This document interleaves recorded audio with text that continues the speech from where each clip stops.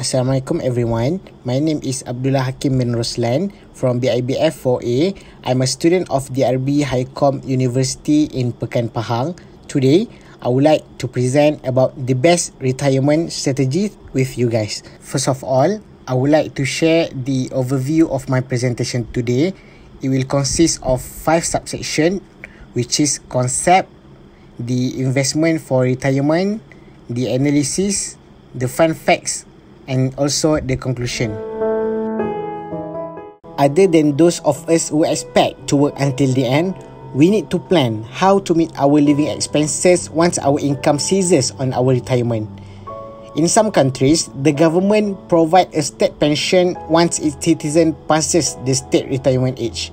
It should be remembered, though that while the state pension is a promise, the eventual quantum and payment of the retirement pension is still subject to the government having sufficient funds in the future to meet its promises. By its definition, retirement according to the dictionary can be defined as withdraw from one's position or occupation or from active working life.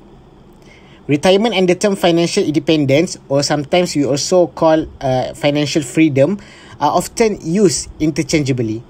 Both are achieved when you have enough combined saving, investment income, and pension income to cover your life expenses. The minimum retirement age for employees in Malaysia is regulated by the Minimum Retirement Age Act 2012, which came into force on 1st July 2013 and the minimum retirement age of an employee for most private sector workers shall be upon the employee reaching the age of 60 years pursuant to section 4 subsection 1 of the minimum retirement age act 2012 and this act doesn't apply to everyone. For example for those who works for the government they are exclude, excluded from this act. Moving on to the investment for retirement The first one is investment in property. It can be defined as investor make a small investment into a property, then they go on to rent it out to cover mortgage repayment. Once it raise in price, they sell it or remortgage it to acquire the finance tax-free, thus gaining a profit or to purchase more property. For example, residential house, shop houses, office and condominium flats.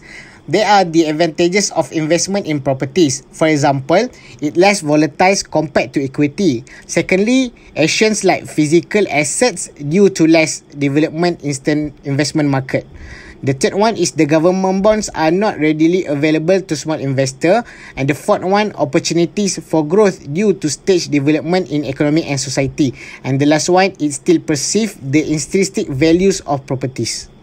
Next is investment in unit trust how it works. Investors' money will be pooled together to be invested in a single diversified investment portfolio which comprise stocks, bonds and others in accordance with the investment objective. The unit trust investment offers a reasonable amount of return with minimal risk. The professional fund managers are employed to manage the funds. They are highly qualified, they are knowledgeable and they are very experienced in the investment. There are also the advantages of the unit trust, which are the first one is the diversification. Many investors lack sufficient resources to establish an adequate diversification on their own. That's why they need unit trust. Second, funds with variety of objective. Different type of funds are created for different investment objective.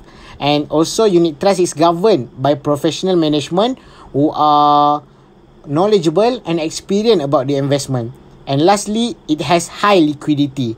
Unit trust can be bought and sold easily. Thus, they do not suffer from liquidity risk. Next is private retirement schemes PRS. PRS is a voluntary long-term savings and investment scheme designed to help you save more for your retirement. Each PRS offers a choice of retirement fund from which individual may choose to invest based on their own retirement needs, goals and risk appetite. The fund options under PRS are intended to enhance long-term return for members within a regulated framework. To start your private retirement scheme savings, you may choose to make contributions directly to the PRS provider or through their registered distributors. Once you have successfully started your PRS savings, you are automatically given a PRS account. Private Pension Administrator or PPA as the central administrator for PRS will be administering your PRS account and will provide you an annual consolidated statement of your PRS account with the PRS providers. There are also the advantages of investment in PRS. The first one, it was designed for retirement. PRS was established with the main aim of helping you to accumulate more savings for your retirement. Secondly, it is an affordable savings.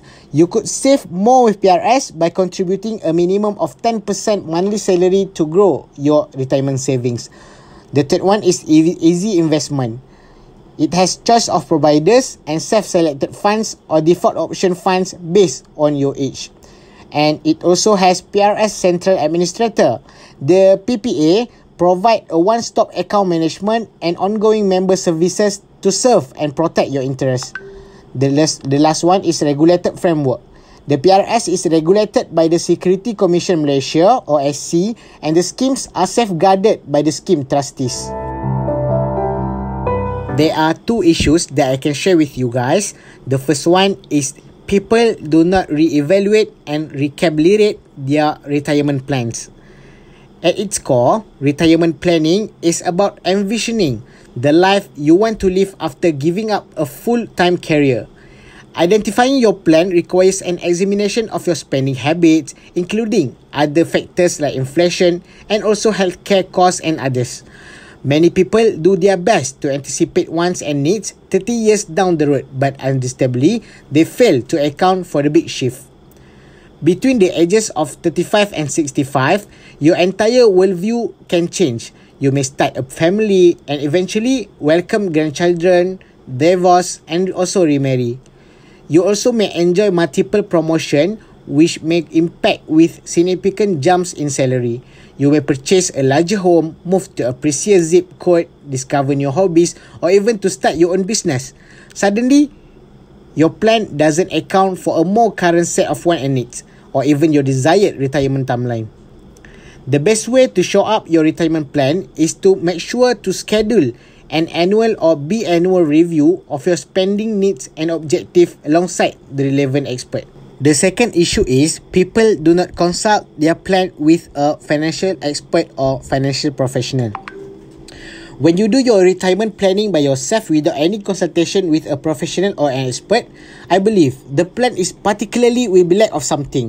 For example, if you own a family business or professional practice, your retirement plans actually need uh, for adequate insurance coverage and an efficient exit strategy.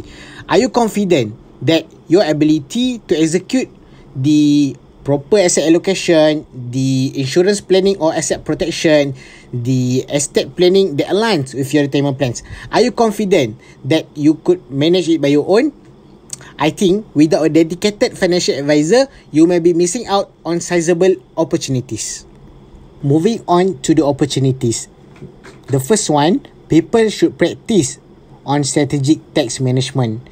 Tweaking your retirement plan for tax efficiency isn't about paying less than you owe. It is all about supporting the causes that matter to you and transferring more your wealth to the next generation. With the help of financial advisor or financial expert, you should take steps to determine your current and future tax burden and you should design the strategy to minimize the amount of tax you pay in retirement.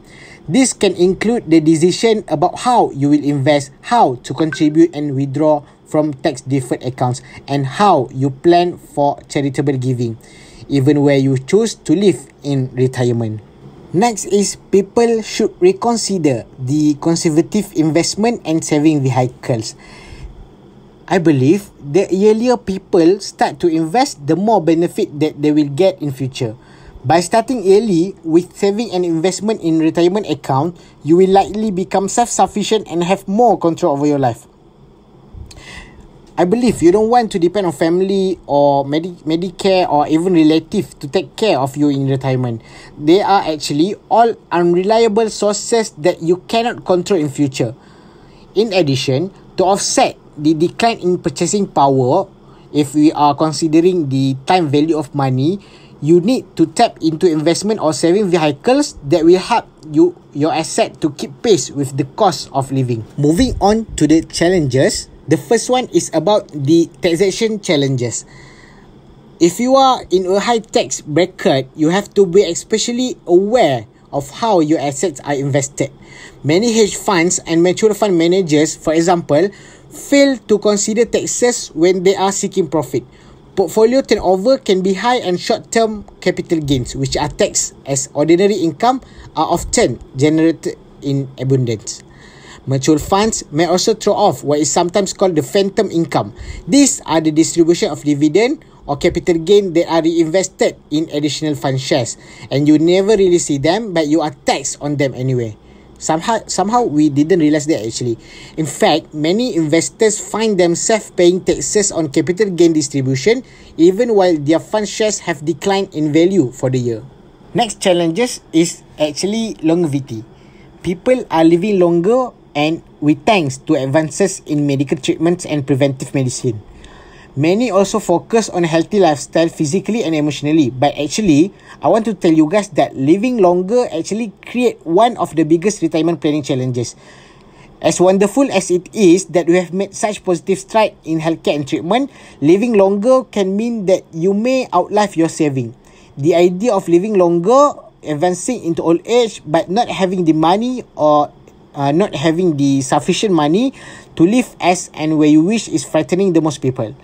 You will want to save enough and make enough and to live better as you live longer. Moving on to the next part, which is the fun facts about the actual retirement scenario in Malaysia. Do you know, according to a research conducted by HSBC Malaysia, by 2020, 3.4 million Malaysians or 9.9% of Malaysia's population will be over 60 years of age. That means almost 1 in 10 person will likely be in retirement age. And Malaysian are an optimistic lot. Despite rising inflation and the revision of the public and private sector retirement age to 60, a good many still aspire to retire on average at age 55. From the countries surveyed, Malaysia's rank third lowest after Brazil, which uh, age is 46 and China at the age of 52 compared to the global global average of 59 years. As for the conclusion, for me, it is actually unlikely that the path to retirement is a simple one and a straight one. Any number of unexpected change will affect your strategy from the moment you start thinking about it to the time you start enjoying the benefits. When you work with a financial planner or a financial expert, you should be confident that an accomplished practitioner is posing the best questions on your behalf and urging you to respond when opportunities emerge. That's why we have to consult with financial expert while planning for our retirement.